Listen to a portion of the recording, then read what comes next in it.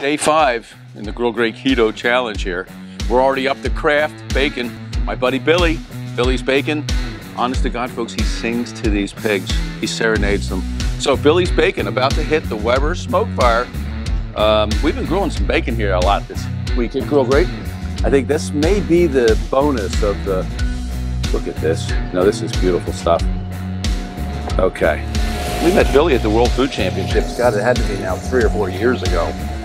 Super nice guy. Used a lot of his product. He's one of those guys that we stay in touch with if he sees us ordering. Fairhope, Alabama. This came off to me because it's on the hat, I think. There we go.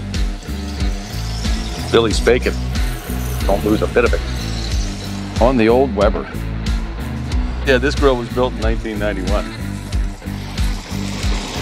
And we still use it probably once a week here. It's fun to have it all turned over too.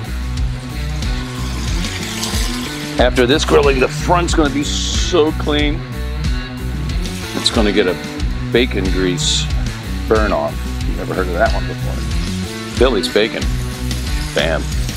Oh, Give them a flip.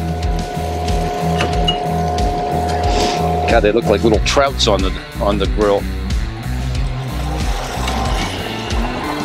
They're all swimming the same direction. Let's grab two of them. Come on there. Get up with your school. There you go. Up. Beautiful. Oh yeah. A little hotter on the gasser. Yeah, this is kind of. Wow, we have uh, Weber past, present, and future here.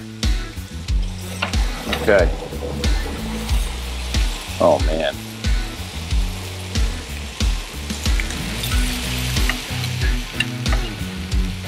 Does that look good or what? Woo.